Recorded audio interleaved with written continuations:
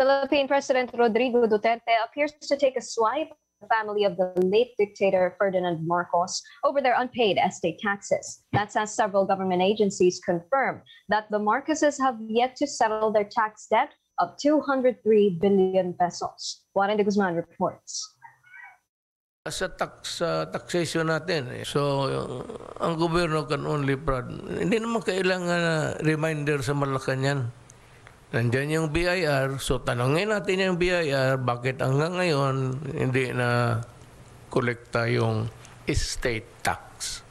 President Rodrigo Roa Duterte did not mention any name in his recorded weekly address to the public, but his comment on uncollected estate taxes sparked a wave of confirmations on the matter of some 203 billion pesos in unpaid estate taxes owed by Ferdinand Marcos Jr.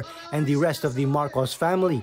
Bureau of Internal Revenue Commissioner Cesar Dulay told ANC the BIR is collecting estate tax and has demanded payment from the Marcos heirs. He noted this was also confirmed in a letter to Aksyon Demokratiko, the political party of Manila Mayor and candidate for President Isko Moreno. Finance Secretary Carlos Dominguez added more details in his own confirmation to media, saying the Marcoses have not paid and that the BIR will continue working to sell Marcos assets to pay for the owed estate tax. Dominguez also noted the Marcos camp refuses to pay because of some pending litigation.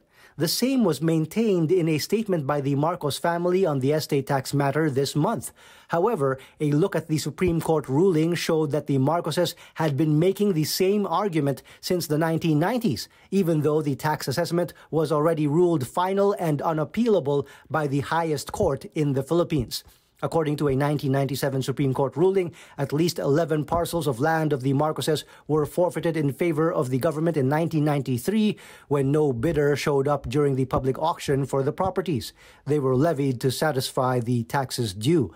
Former Supreme Court Justice Antonio Carpio and former BIR Commissioner Kim Henares also confirmed the facts of the case and have even urged the current BIR leadership to quickly file criminal cases against the Marcoses for failing to pay the taxes due on the former dictator's estate. Warren de Guzman, ABS-CBN News. Party list representatives fighting back after President Duterte slammed the country's party list system as a way for communists to infiltrate Congress. The chief executive also believes it is being misused by the elite so they can get elected to the House of Representatives. This claim did not sit well with lawmakers. Huwag nating i-centralize yung party list doon sa mga binanggit ni Presidente. I'd rather focus on our own advocacy. Kasi Yeah. kanya-kanya po kami. Itong uh, red tagging na ito ay act of desperation. In fact, squid tactic din para ilihis ang mamamayan sa tunay na. The Commission on Elections says they will look into President Duterte's allegations against several party list groups. Previously, poll watchdog Kontra Daya said that 120 out of 177 party list groups were identified with political clans and big businesses. That's despite its main goal of giving representation to marginalized sectors in the Philippines. Election Commissioner Aimee Ferolino tapped to lead the poll body's task force against vote buying. COMELEC Commissioner George Garcia says the en banc chose Ferolino her experience as a field official. Ferolino penned the ruling, rather,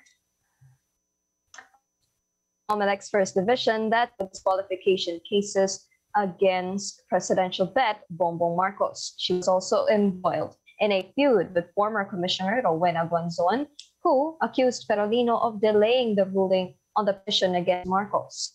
Ferolino's task force will include members of the Justice Department, the police, and the military, among others. Candidates found guilty of vote buying can be jailed up to six years and be barred from holding public office for life.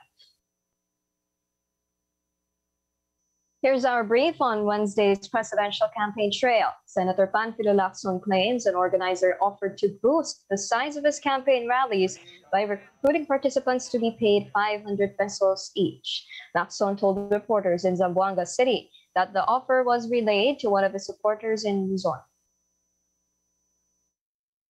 Sabi sa kanya, o baka gusto ni Senator Lacson sa ni Senator na magkaroon ng maraming rally, meron kami mga tao at 500 pesos per person.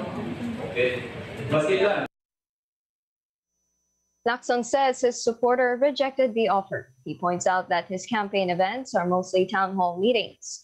Meanwhile, former Senator Bongbong Marcos and Davao City Mayor Sara Duterte held sorties in the Davao region. They visited Davao del Norte, Davao del Oro, and Davao del Sur. Marcos lost in the three provinces during the 2016 vice presidential race. Duterte expressed confidence this won't be the case in this year's polls. Vice President Leni Robredo and Senator Francis Pangilinan visited victims of Typhoon Odette in southern Leyte. Pangilinan apologized for not attending a grand rally in eastern Samar Tuesday night. He said he wanted to ensure that local leaders would still attend the rally, even though their endorsement was solely for Robredo.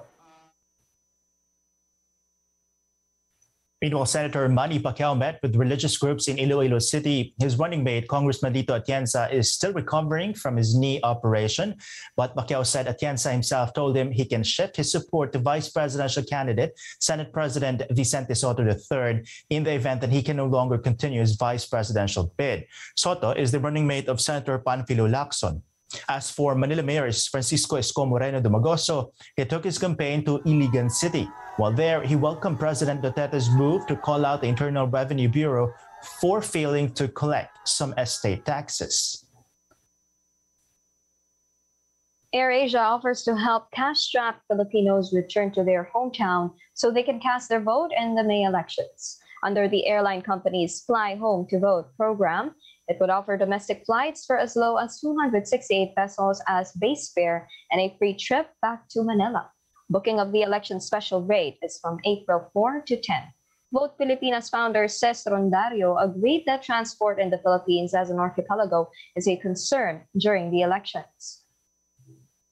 Isa sa mga dahilan kung bakit hindi nakakaboto yung mga kababayan natin, nakarehistro sila sa probinsya pero nagtatrabaho sila halimbawa dito sa Maynila. So binibigyan natin sila ng kakayanan, ng oportunidad na makauwi dun sa kanilang probinsya, makaboto. The worst of that is ah, hindi lang sa hindi sila makauwi, pero hindi rin nila ma-encourage yung mga kasama nila na mag-bumoto kasi sila mismo hindi sila nakakaboto, di ba? So marami kaming alam na ganyan. Lalo na po yung mga, um, wa- isa yung mga hinabol namin ngayong campaign is yung makapag, ah, makalipat ng registration of ah, election office